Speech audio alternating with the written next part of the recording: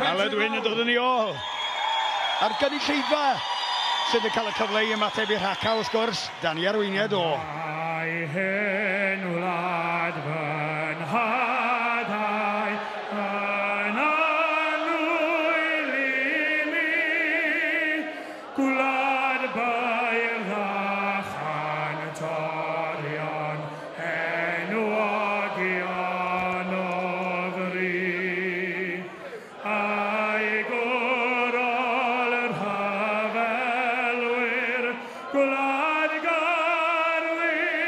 tramat, trosera lit, cota sancta,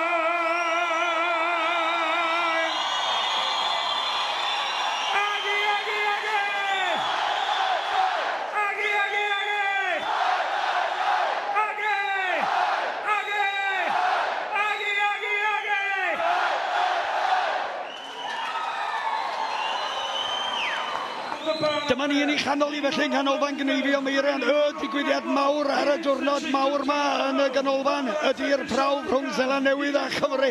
Richard Jones ac Alan Lloyd Jones yn cynrychiol i Cymru. Reini yn herio David Buick a Roland Smith yr holl ffordd o Zeland Newydd. Di ddim wedi bod yn dda ar Gymru yn y profion blaenorol. Wedi colli eisoes yn y ffrin coffi yn y gostel ag yn Llambed. A mae yna ddau brawf ar ôl. Un yn fan hyn heddiw a'r llall wedyn yng Nghorwen ar y penwythos. Felly digon i brofi fan hyn popeth i weddill gan y Cymru ac Zela Newydd wrth gwrs isio dial am, am golli pencampwriaeth y byd uh, draw allan y fanna yn Ffrainc. 19 o wyn yn y gorlan y tro yma a'r cneifio welwch chi ddim cneifio gwell na hyn yn unlla y byd y cneifio lle bynnag awch chi yn y byd.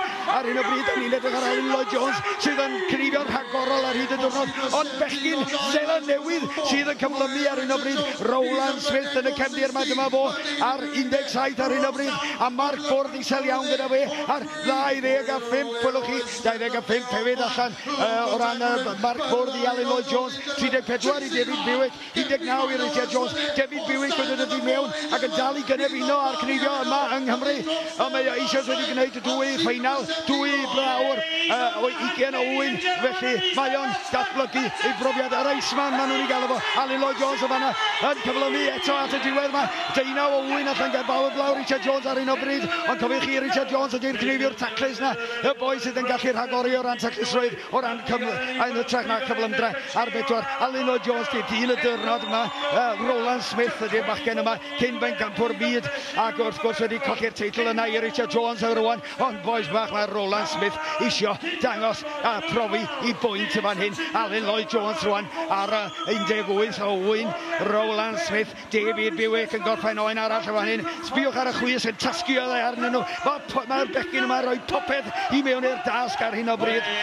Pwy sy'n mynd â i mewn? Mae'r ma dorf o hyn, sa'ch chi ddim yn credu. Maen nhw wedi bod ar ei traed yn canu'r anthemau amgylch drydanol yma. 19 oen allan rwan gan David Bewick. David Bewick a Roland Smith nawr.